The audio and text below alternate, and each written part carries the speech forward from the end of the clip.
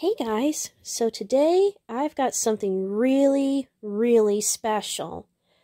These are Irwin Sailor Moon action figures, not to be confused with regular figurines, which there were plenty of back in the 90s. Oh no. These actually can move. Now, if you guys collect the super expensive but amazingly awesome uh, SH Art Sailor Moon figures, maybe you might be a little confused with this video. You're like, well, what's the big deal about action figures?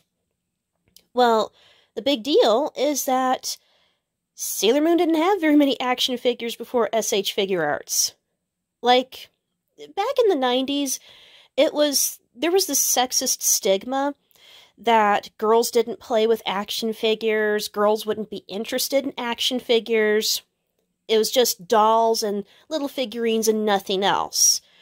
So there wasn't a whole lot for girls, and if if you did see a girl-related action figure, it was part of a toy line aimed at boys, like Batman or um, Teenage Mutant Ninja Turtles or something like that you wouldn't see very many action figures on a whole aimed at girls.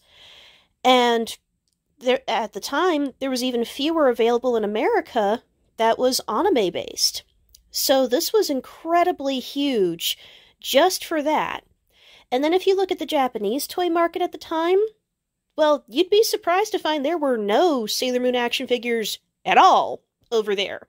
Like, there were figurines, there were dolls, but no action figures, nothing with articulated joints or, or weapons or anything like that. Well, you know, some had the wands, which we'll get into soon.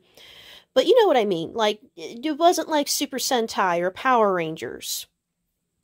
So, the fact that these figures exist at all is a dream come true to somebody like me who grew up adoring action figures.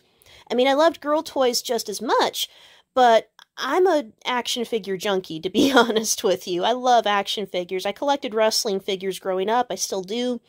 So, having real action figures for my favorite anime of all time, it's really special. So, curiously, Irwin, and we'll talk about the packaging too. Irwin released just a handful of these action figures just to test the waters. These figures are, ooh, I'd say about, oh, I guess the general size would be roughly almost four inches, like three and a half, four inches. Um, and you can see there's not really a whole lot of consistency in the size at all, unlike the Irwin dolls, which were very consistent. I think the size might have been one issue in selling the dolls is that they're so tiny. I mean, when you can consider the fact that when these figures came out, Power Ranger figures were still about, I'd say, five and six inches tall, and then you have something that's four inches. I think that might have hindered it a little bit. The biggest hindrance was the price. You guys aren't going to believe this, but FYE, they used to sell these figures at the exact same price as the six inch dolls.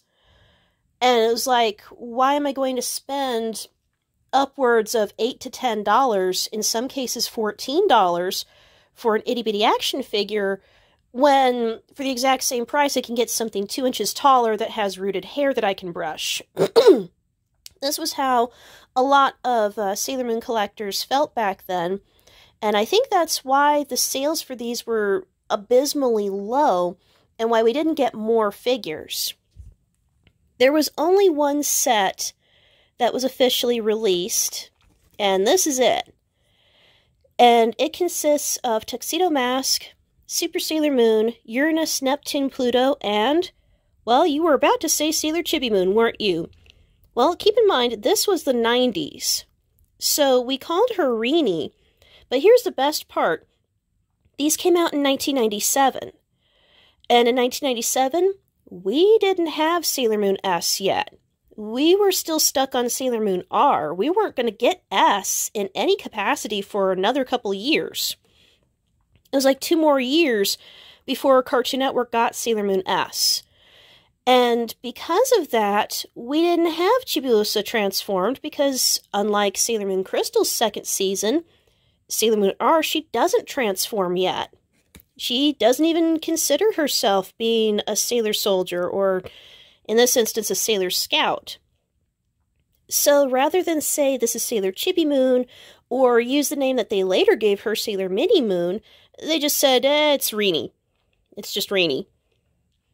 So, for a lot of Sailor Moon fans who did not have access to the internet, because we didn't have all of the manga and anime yet, a lot of people just assumed that this was Chibiusa cosplaying as a sailor soldier. They didn't think, oh yeah, she's actually going to transform and be like her mom.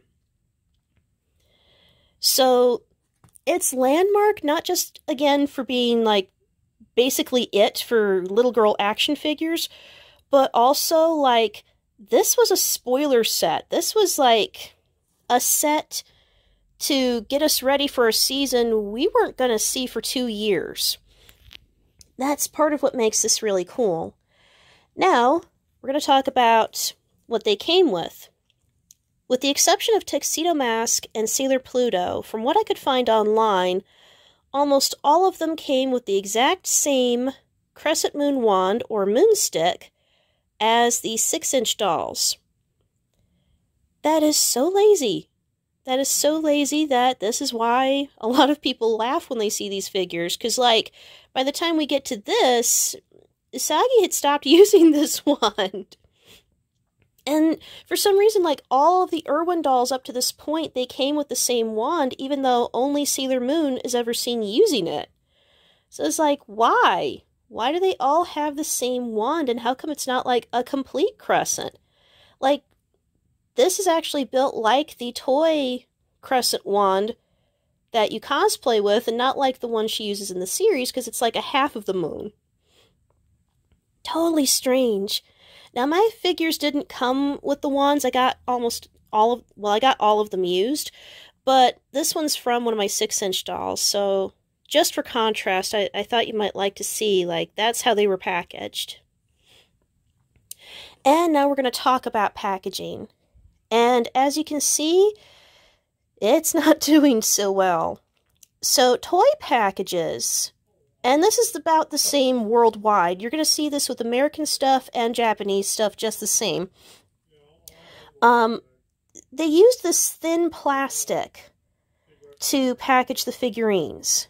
And the thing is, it's like Halloween mask plastic for little kids. You're not supposed to keep this forever. It's supposed to be used just long enough to get the figure onto the store shelf, get somebody to buy the figure, and then once the figure is out of the package, this is supposed to be discarded nobody thought that there would be a collector's market that would be like obsessed with NRFB for years and years. Now, I've mentioned this in my Chibiusa review videos, and I'm going to talk about it here because now you can see it. The problem with this packaging is that because the plastic is so thin, the molecules are really ridiculously crap. So what's going to happen is first it turns yellow, and then what I've seen on some old toys it adheres to the plastic and ruins the toy. And we don't want to do that. We want to save Sailor Uranus. I think she's been through enough, don't you? So we're going to do a jump cut, and I'm going to get her out of here. Okay, so Uranus has been saved. So now, let's take a look at the figures up close, because here comes the fun part. So we're going to start with Tuxedo Mask, who curiously has light brown, pink brown hair? And a yellow bow tie? This is wild. I don't have anything else like this. I have two other Tuxedo Mask figures where their hair is a little bit on the bluish side, like in the manga. And I have two Irwin dolls where they gave him dark, dark brown hair. But this is the first one I've had with hair like this. What is up? And his eyebrows are brown. What is up with this? Like, everything else is fine, but the bow tie and the hair and the eyebrows, what? The cape is detachable. So you can make him do more poses depending on whether or not you want him with the cape or not. I want him with the cape. And all of these action figures, they can move their arms forwards and backwards. And they can bend the elbows. They can bend their knees. And he actually sits normally. And you're going to see what I mean by that very soon. Because next we're going to look at his future bride, Super Sailor Moon. Oh, I should mention too, um, Tuxedo Mask can move his head side to side. Super Sailor Moon cannot. Her head is stationary. And they gave her, well, they gave her an interesting locket combo. There's like a little dinky tiny moon in the center of the heart, so you could almost use that with Super S as well as S because some of the uh, Super S merchandise had that. It's like a double spoiler. Isn't that cool? They gave her Sailor Saturn's white tiara for inexplicable reasons. I guess, you know, the, we can do a moon here, but not here. Interesting choice. And now here's what I mean by sitting normally. For some reason, all of the girls sit like this, like like childbirth mode. You know, I, I, I don't get why. But this was like a thing with most girl based action figures in the 90s. I have a Batgirl, I had a Batgirl figure who was like that too. Like, she had these wide hips, and when she sat down, she couldn't sit normally like you saw a Tuxedo Mask. She had to sit like, you know, her legs were splayed. What is up, man? Oh,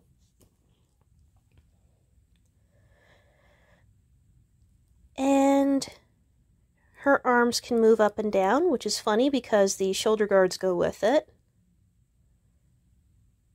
For being so tiny, though, they did do a good job on her face and on her hair. We forgot the little white clips, though, but that's okay. She's cute. You may recall Sailor Chibi Moon, or Reenie, from an old video from long ago, but now that I have a better camera, you can see her better. Her plastic is aging. When I first got her, it was like a bright sugary pink, and now it's kind of faded into sort of an orangey pink, so she matches my Japanese dolls. She does not bend her elbows for some reason. I mean, you know, she's not that much shorter than Sailor Moon, so you'd think that they would have her like bend her knees and bend her elbows, but she doesn't do that. But like her dad, she can turn her head. I think they did a great job on her locket. I mean, it's so tiny, but you can actually see what it is. Her hair looks a little messed up. I got her this way, but that's okay. A lot of action figures like the paint chips and you know it gets a little warped but it's not mold or anything so it's not a big deal. Maybe i'll repaint her one day. I don't know. I, I like her as is. I like sometimes when i get sailor moon toys and there's like little little scratches and chips because it's like they're battle worn it's like they've seen combat. Like these are real superheroes you know and yeah, like she's not very much shorter than Sailor Moon. She's almost the same size. It's like she really grew. So I don't know why they didn't give her the joints. Let's see Sailor Uranus. Uranus, they gave her more manga accurate hair. It's light blonde instead of the dark dishwater blonde we see in the anime. Can she move her head? No, she can't move her head. They gave her a red tiara? That's curious. That's also like the sweetest, happiest face I've ever seen on a, a Uranus toy. Yeah, look at... Yeah, that is actually like the happiest Sailor Uranus face. Oh, she can move her head.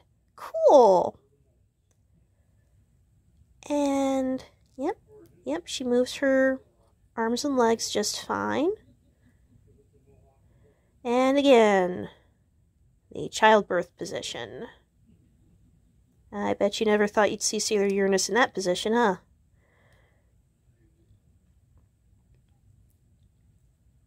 Well, this is interesting. Her back says 1998, but her packaging said 1997. How long were they planning these? That is curious, don't you think? And now we'll see Neptune. She's got, actually, she's got the same face as her girlfriend. She's got the little charm on her her choker. They took a little more time with her than they did her girlfriend. She can move her head. Elbows and knees, they seem to be in working order. Yep, yep, she sits exactly the same way.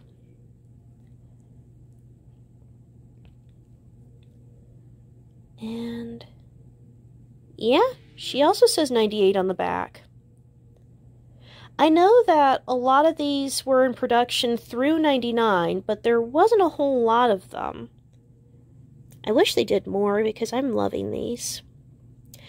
Pluto came with her own time key, which I really love. Then here's Pluto. And they gave her the same happy face. Oh my gosh, they're all just happy to see us. There's a little dust on there. That's my fault. I had her on a different shelf, and I'm currently um, building another shelf. I forgot to dust them. My bad. So, her joints move normally. They gave her blue eyes. And yep, yep, she sits in the same way. Her plastic's starting to yellow a little bit, but I like it that way because you're starting to see more of her hair, er, her skin color. She does have a bow back here, but her hair is like permaglued over it. And she does move her head a little. Now, we're going to take a look at something really cool. So you may have noticed that Uranus came with a booklet. So let's read what the booklet says, and I'll correct anything as we go along. And keep in mind, guys, this is the 90s. This is Sailor Moon, once a regular teenager, now the champion of justice and the princess of the moon. Luna, her talking cat, helps her on adventures. Serena, Princess Serena, Super Sailor Moon. Birthday June 30th. Sailor Scout Attack, Moon Tiara Magic, Moon Scepter Elimination. Serena loves to talk and eat. You might be wondering how come part of this is in French. Well, Irwin sold more stuff in Canada. So a lot of the 97 Sailor Moon stuff is like half French and half English. Which I think is really nice of them. And oh my god, we're getting different names for some of the characters. Here we go. They list Sailor Venus's name as Nina, well, her DiC name was Mina, and her Japanese name is Minako. And, you know, in parallel Sailor Moon, her daughter's name is Mina. So they just swapped the letter M for the letter N. That's something. Here are the Sailor Scouts, Sailor Moon's loyal friends. Oh, and Artemis. I love how he's just like a secondary thought. Poor Artemis. Ray, birthday, April 17th. Sailor Scout Attack, Mars Fire Ignite. Ray likes to sing. Eh, in the anime, yes. In the manga, that's more Venus's thing. Amy, September 10th, Sailor Scout Attack, Mercury Bubbles Blast. Amy loves computers. Lita, birthday December 5th, Sailor Scout Attack, Jupiter Thunder Crash. Lita is a great cook. Nina, Wow, you can tell they must have started writing this before the show actually like hit certain markets. Birthday October 22nd, Sailor Scout Attack, Venus Crescent Beam Smash. Nina was a professional model. Was? Past tense? Well, well, that's not entirely not true if you read the Codename Sailor V manga, which you should because it's awesome. What do we have here? The Sailor Scouts have friends like this dreamy hunk and this little girl. Oh my god, the creep factor. Oh, did your butthole slam shut too? Mine did. Darien, Prince Darien. Oh, tuxedo mask. Birthday, August 3rd. Favorite we- weapon, red rose.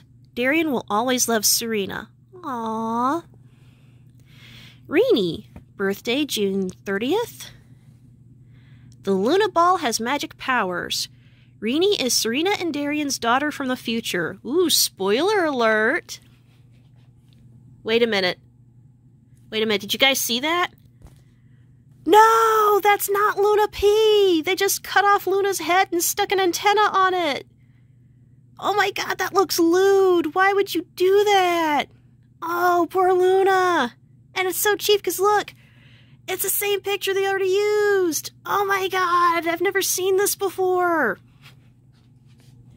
This is funny because, like, again, like I said earlier, Sailor Moon R was still on TV when these figures originally came out, but we hadn't gotten the last um, 17, technically 18 episodes, the lost episodes, on Toonami yet. That wouldn't come until 98. So you guys just totally spoiled that that's their kid. Oh my god, that's so cool. And it's accurate because she is. Oh my god. Oh my god, I didn't even see this. The Sailor Scouts fight evil Negaverse villains. Life isn't just cheeseburgers and cute guys in capes. Wow, that has so much sexist snark, I can't even. The Wicked Lady. This is Reenie under a, an evil spell. Oh, we're not going to introduce Rubeus or Queen Beryl or Diamond or Emerald. Oh, okay. Well, screw you too. Well, that is true. You know, that is Chibiusa's, you know, evil self. Um, some of you have asked before on Facebook how come there's some stuff that says the Wicked Lady when all the new stuff has her Japanese name, Black Lady. Fun stuff. Um, DiC didn't want to keep the name Black Lady because it sounded a little offensive and they thought kids might get confused, so they just said Wicked Lady. Other names I used to see were Dark Lady and uh, Black Moon Lady and Dark Moon Lady. Fun times in the 90s. Oh, this has been on Moon Sisters for years, and now we get to see it up close. With all those villains, it's always good to find new friends, in case the old ones don't do it. So, again, keep in mind, this was before Sailor Moon S came to the United States. DiC had not gotten the rights to Sailor Moon S at this point, and it was going to be another two years before the movie and the series finally hit Cartoon Network. The movie being partially done with DiC and Optimum Productions, and then the Sailor Moon S TV show being done by Cloverway, not DiC. So here are the names that they originally thought of Nerissa. She later became Michelle. Her name is Michiru. Corin. Her name later became Amara. That is Haruka. And Celia. Her name later became Trista. And in Japan, she's Setsuna. Another name I used to see for her was Susan. So, fun stuff there. Let's see. Nerissa, birthday March 6th. Sailor Scout Attack, Deep Submerge. Nerissa plays the violin. Accurate. Corin, birthday January 27th. Sailor Scout Attack, World Shaking. Yep. That's not what we called it in the English version, but that is the Japanese version. Corin races cars. Yes, she does. Celia, birthday October 29th. Sailor Scout Attack, Dead Scream. Celia is a fashion designer?